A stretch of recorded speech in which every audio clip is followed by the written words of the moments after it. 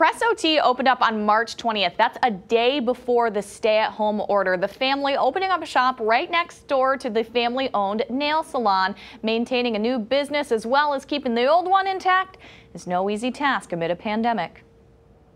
Andy and I wanted to bring something to the community that we don't have around here. Alice's brother and sister-in-law own Bella Nails and Spa. It was just before the pandemic that she decided to team up with her brother to open up Prescotea a bubble tea shop. We were hoping and we were relying on a lot of people coming and gathering. Unfortunately, that did not happen. Instead, they remained open for to-go orders during the lockdown. There were days when we were only selling 5 to 20 cups, and 20 cups was like, yes, this was a great day. But they persisted, keeping business open. And after three months, they have survived the odds against them. Word of mouth has helped, but they are hoping to see new customers to continue to stay afloat.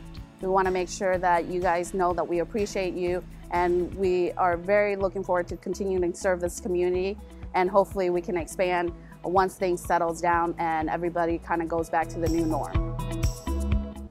Bella Nails and Spa has new safety measures in place as well, including taking customers by appointment only. And we've got their phone number on our website, WXYZ.com. And don't forget, if you're a business or restaurant owner, make sure you let people know you're open. You can go to WXYZ.com slash open. Amira?